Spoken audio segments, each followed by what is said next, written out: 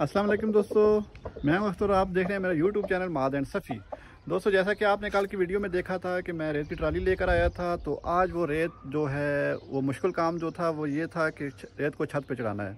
तो उसके लिए मज़दूर भाइयों की मदद ली है, मज़दूर भाई ये रेत छत पर चढ़ा रहे हैं।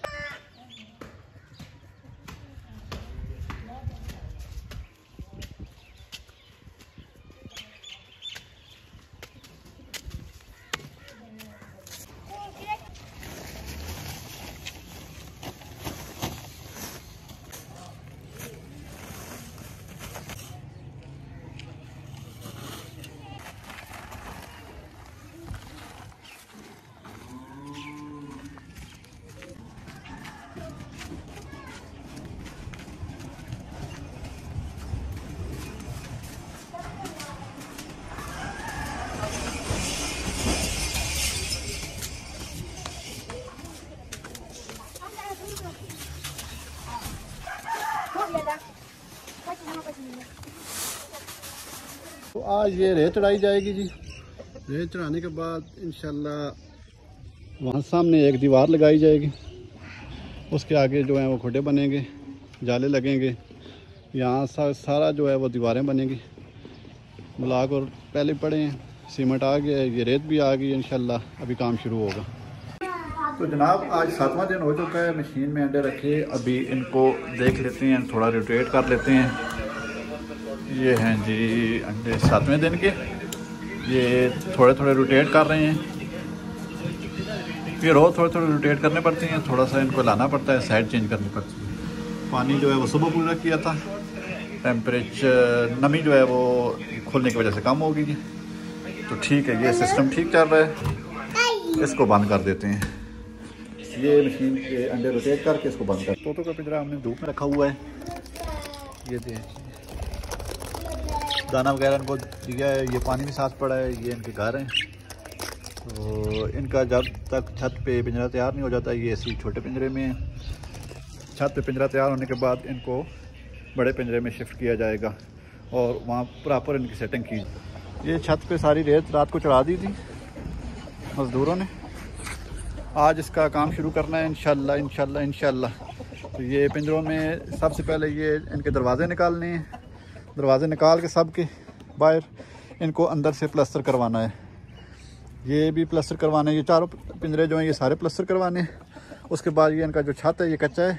इसके ऊपर कोई शाय नहीं पड़ी। इसको भी प्रॉपर लेवल से इसके ऊपर कंक्रीट करनी है।